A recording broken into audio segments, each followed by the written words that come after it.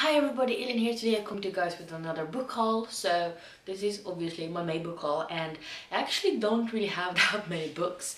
I have a total of five books, three of which I've bought on my own and then two which are review books and actually picture books. So obviously I've already read those. So yeah, let's get into it. The first book is The Graveyard Book by Neil Gaiman. This is illustrated by Chris Riddell, so it has a beautiful, beautiful cover. So I've actually never read anything by him before, but I've been wanting to read this one for a really long time. It just, it sounds really cool, it's middle grade and I love that jazz and it has beautiful illustrations, so I was sold. So this is about um, Nobody Owens, known to his friend as Bod, is a normal boy. He would be completely normal if he had if he didn't live in a graveyard being raised and educated by ghosts.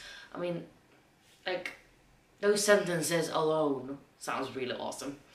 And there are dangers and adventures for Bod in the graveyard, but it is, is the land of the living that real danger lurks, for it is there that the man Jack lives and he has already killed Bod's family. Dun dun dun. And that's just a very short description of the book, but I feel like it tells you a lot, so I'm really excited about reading this one. I actually have two books in the same series. It's actually kind of the same book, if you get my drift. so we have Oathbringer Part 1 by Brandon Sanderson, and we have Oathbringer Part 2 by Brandon Sanderson. So, I mean, they're the same book. um, no, but I just I've been reading the Stormlight Archives now for a bit and currently working on the first part of um, I'm currently working on the first part of Words of Radiance. So you know this is the continuation of that series and I just I really li like this series a lot. It's definitely not my favorite Brandon Sanderson series but it's pretty darn solid still. And it's really hard to describe and I try every time but I feel like it doesn't make any sense but here we go again. So as, as usual it's like fantasy it's magical and there's war and there are these sort of shard plates and shard blades and they're really sought after. So they actually go to war trying to win these um, objects from different people and they make you really powerful and you know in charge. So they try to win those and there's some war like I said and there's some really cool kick-ass characters and definitely like a lot of them. Like I, I mean I like all of them but some are more interesting than others. Um, but yeah I just wanted to really read this series. But you see the problem here? Because I sure as hell do. So these have black spines and the rest of the series that I own, you know, in these covers have, you know, white spines. And as you can see, most of my collection, Brandon Sanderson, has white spines.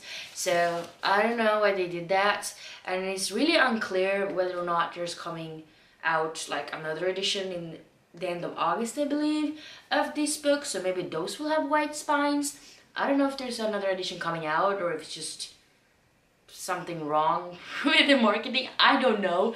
But it seems like there's another one coming out. So uh, we'll see what I do about it. Then the two review books I got was um, Tuff Tuff Toot Toot, which is sort of a help you can count different things like birds and ice cream and stuff like that and they really do enjoy it and it's a little bit you go on a train and you see things really and then we have Say Hey to Gruffalon which the kids really do like um, just um, the mouse is actually in the original Gruff Gruffalo uh, book and he's meeting different kinds of animals and he says hello to them but he's not really interested in like you know going to tea with them or anything like that. And in the end he meets the Gruffalo. So they really do enjoy that one. Tough tough tough tough toot toot. Um, they really like as well but they're very different kind of books.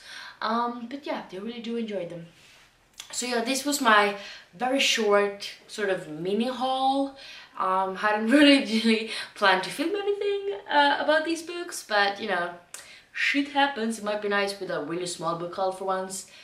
Five books and I've read two of them. So I mean I'm pretty proud of that. So you know it's a small haul it was needed. but yeah, if you have read any of these books, please let me know down below what you thought about them, without spoiling of course.